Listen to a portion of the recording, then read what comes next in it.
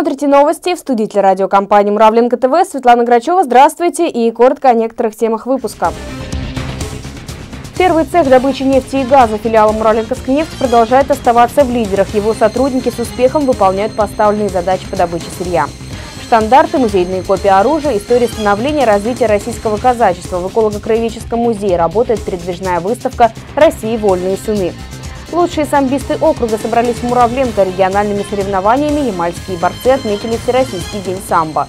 Ямал-регион, в котором четко прослеживаются пути сохранения межнационального и межконфессионального мира. Об этом сегодня было заявлено в Салихарде на конференции по вопросам профилактики экстремизма, пути сохранения межнационального и межрелигиозного согласия в Ямал-Ненецком автономном округе. Основная задача конференции, как отметил исполняющий обязанности директора окружного департамента внутренней политики, это выработка национальной политики в режиме постоянных консультаций. Мы понимаем, конечно, что на сегодняшний день э, ситуация в межнациональной сфере непростая.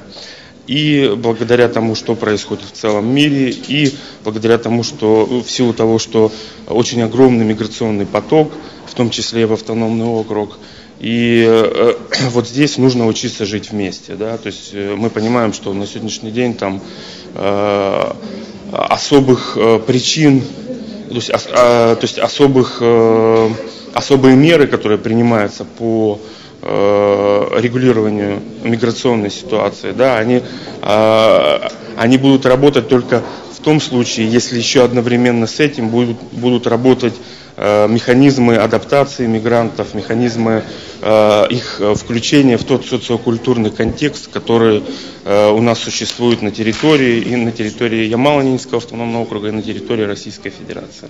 Добавлю, что за два года работы в регионе консультативного совета по вопросам этноконфессиональных отношений при правительстве Ямала на проекты популяризации различных культур выделено около 20 миллионов рублей. На последнем заседании совета принят меморандум о взаимодействии межнационального и межконфессионального мира и согласия. По информации Дмитрия Ягудаса, к нему присоединились уже 145 общественных организаций. Период с 15 мая по 15 октября в России проводился конкурс местного самоуправления «Открытый муниципалитет», организованный журналом «Практика муниципального управления» при поддержке ведущих российских объединений и ассоциаций. Итоги подвели в ноябре. В конкурсе приняло участие более 200 муниципальных образований страны. Подано 402 заявки. Администрация города Муравленко признана победителем в номинации «Самая открытая администрация». По мнению организаторов, участие в конкурсе показало, что муниципальное образование проводит политику открытости в соответствии с требованиями законодательства, ведь вопросы открытости власти сегодня стоят на повестке дня остро, как никогда. Принятие федерального закона об обеспечении доступа к информации о деятельности госорганов и органов местного самоуправления, других нормативных документов показало, что высшая законодательная и исполнительная власть страны также заинтересована в диалоге с обществом. Однако, учитывая факты нарушений закона об информационной открытости, которые были выявлены в ряде муниципальных образований страны, необходимо привлечь особое внимание к вопросам открытости деятельности власти и необходимости исполнять законодательство. Наша съемочная группа попыталась узнать, каково мнение жителей Муравленко об открытости местных властей. Как вы считаете, наши власти открыты для горожан? Я думаю, что да. Например? Ну, ну можешь к ним на прием записаться, и если нужно что-то, я так думаю. Мне пока не надо было, я не могу вам ничего сказать. Я думаю, да было бы желание, можно добиться зайти к ним гости на прием. Можно прийти, записаться на прием, обратиться там внизу охрана, милиция. Они вам скажут, какой кабинет пройти. Вы пройдете, запишитесь. Вам подскажут, по какому вопросу, куда записаться. То есть вы сталкивались уже с такой с подобной да, ситуацией? конечно. Обращались? Ну, пока нет, но по другим вопросам заходила и знаю, что доступно. Вас услышали? Меня услышали. Ну, неоднократно видел выступления и по ТВ, и, в принципе, часы приема есть. Э, в общем-то, все вопросы открыты. Э, горожане могут обращаться с любыми проблемами и получать ответы и решения. По другим темам, четырехлетнему муравленковцу Артему Амошко требуется помощь. Мальчик переживает поражение центральной нервной системы и болезнь тазобедренных суставов. Всем, кому не безразлична судьба Артема, просьба откликнуться и оказать посильную финансовую помощь. Перечислить деньги можно в филиале ноябрьского отделения Сбербанка. Координаты вы сейчас видите на своих экранах. Найти эту информацию можно также на официальном сайте города по адресу muravlenko.com.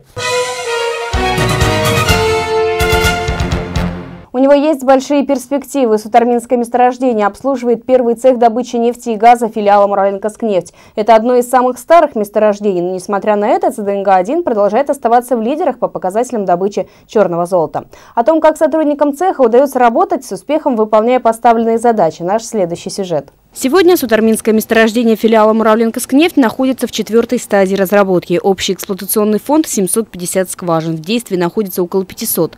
Коллектив первого цеха добычи нефти и газа, обслуживающий месторождение, активно проводит работу по выведению скважин из бездействующего фонда. За год порядка 18-20 скважин мы вывели, как, как говорится, из длительного, очень длительного консервационного бездействующего фонда. За месяц ДНГ-1 добывает около 79 тысяч тонн нефти. Улучшить показатели добычи цеху удается не только за счет водоскважин, но и за счет правильного проведения геолого-технических мероприятий и гидроразрыва пласта. По цеху за предыдущий месяц, за сентябрь, за октябрь месяц выполнено плюс 125 тонн, то есть перевыполнение графика на данный момент, на текущую дату. Мы идем с перевыполнением 65 тонн этого показателя, то есть Цех пока работает, не пока, думаю, надеюсь, будет работать на улучшение этих показателей. В коллективе цеха 140 человек. Ежегодно он пополняется молодыми специалистами. Пришедшие после вуза нефтяники сразу включаются в работу. Трудностей они не боятся. Изначально всегда были и будут и трудности, так как это что-то новое. А что, все, что, все что-то новое, это всегда трудно. Но эти трудности надо преодолевать.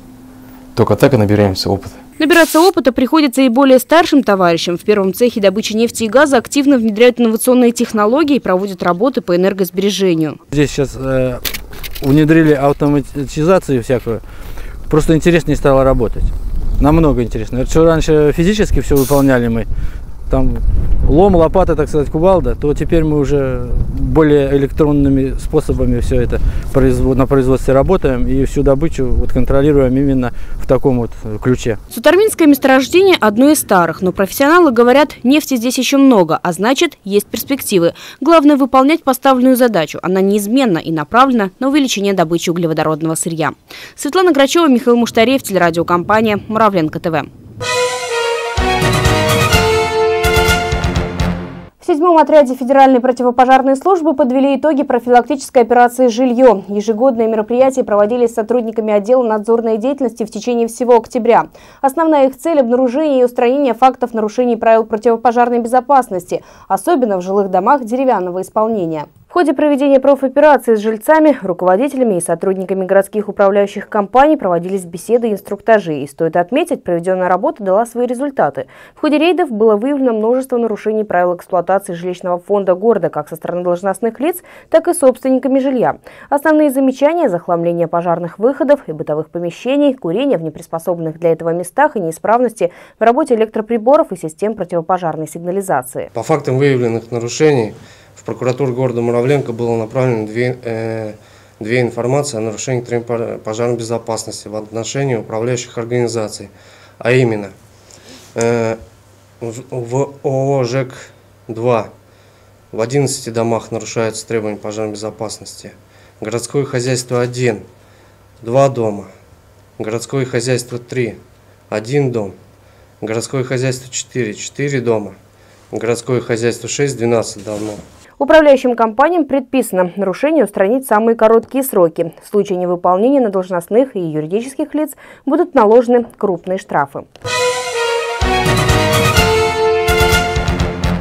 Эколого-краеведческий музей Муравленко вновь приглашает выставочные залы. Передвижной экспозиционный проект «России вольные сыны», открывшийся в ноябре, создан совместными усилиями Музейного ресурсного центра и городского казачьего общества Ноябрьска. Он широко освещает историю становления и развития российского казачества. На протяжении нескольких веков казаков считали элитными войсками, которые были жемчужной в блистательной короне Российской империи. Экспозиция разделена на 11 блоков. В каждом из них представлена информация о казачьих войсках нашей страны. Одежда, штандарты, музейные копии оружия. Цель этой выставки, э, чтобы люди не забывали свои корни, э, то есть знали, откуда пришли, как, и показать, какая форма, какая одежда, какое оружие имеют, носят и э, с чем работают казаки. То есть возрождение быта и казачества. Передвижная выставка «России вольные сыны» пробудет в нашем городе до 20 ноября.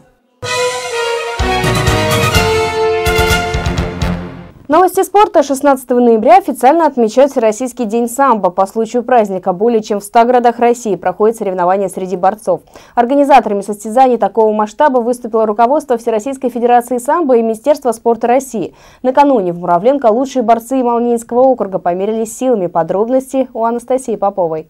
Самбо активно развивается на территории Ямало-Ненецкого автономного округа и, в частности, в Муравленко. В пятый раз в нашем городе проводят соревнования в рамках Всероссийского дня самбо. Здесь выступают лучшие борцы округа.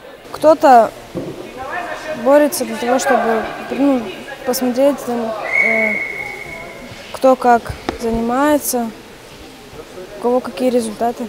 В 2013 году самбо отметит 75 лет со дня его официального признания как вид спорта. Дело все в том, что это еще один из этапов подготовки наших ребят, вот это именно вот этого возраста, мы, почему мы его взяли, э, к спартакиаде э, школьников России, которая будет э, на следующий год. Первый этап точно так же, вот это, сейчас мы смотрим отборочный, даже не отборочный, а присматриваемся к ребятам, кто что. Следующий, в марте у нас будет отборочные соревнования, также у нас в городе Муравленко проходить первый этап. Второй этап, вот это первый этап, второй этап будет э, в марте месяце. Потом третий этап, это будет проходить в городе Кургане, это Уральский федеральный округ. И четвертый этап, э, скорее всего, будет в Москве, где будет э, финал спартакиады школьников. Юный самбист Никита Носов мечтает попасть на эти соревнования. Говорит, что у него все еще впереди. А ведь желание заниматься борьбой появилось всего несколько лет назад. Ну, чтобы стать мужчиной, как папа говорит, чтобы защищать себя, чтобы защищать слабого. Трудно было выступать. Тут много участников, которые тоже занимаются много лет, с которыми тоже трудно бороться. Помериться силой на ковре в Муравленко заявились ноябряне и борцы Пуровска. В прошлом году участников было немного больше, приезжали и новоуренгойские спортсмены. В 2012-м в каждой из девяти весовых категорий определили призеров. В командном зачете Кубок победителей завоевали спортсмены Муравленко. На втором – команда Пуровска, на третьем – сборная Ноябрьска. Всем участникам вручена наградная продукция от Министерства спорта, туризма и молодежной политики Российской Федерации. Анастасия Попова, Владислав Дроботов, телерадиокомпания «Муравленко ТВ». И это все, о чем сегодня успели рассказать журналисты компании «Муравленко ТВ». Напоминаю, видеоверсия информационных выпусков доступна на официальном сайте города муравленко.ком.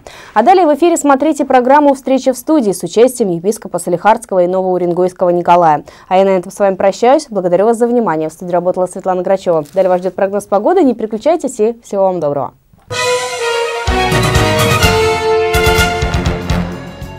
Спонсор прогноза погоды «Восток Моторс Ноябрьск». По прогнозам Гесметео, в среду в Муравленко пасмурно. Осадков не ожидается. Температура воздуха 26-28 градусов мороза. Ветер юго-восточный до 5 метров в секунду. Атмосферное давление 749 миллиметров ртутного столба. Готов сражаться с бездорожьем и покорять его. Он создан побеждать. Оцените его мощь. Land Cruiser Prado. Превосходство очевидно. Toyota. Управляй мечтой.